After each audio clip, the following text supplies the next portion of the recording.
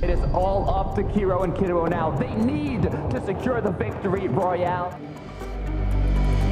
The whole meta got changed since this year, and I think that's the reason why so many people, for example us, are catching up to the, the top players right now. I like the game because every game is different. You can have the worst loot ever, but still get a big refresh and win the game. And like, yeah, that's why I like it. Me and Kiiro obviously wanted to play as good as possible, but like we would have been fine with a top 10, and top 5 would have been would have been our goal. And at the end, we came top 3, which is even better than top 5. So we're obviously happy about it. Um, yeah, the feeling was amazing. I was so happy, and like this season, we're gonna get first.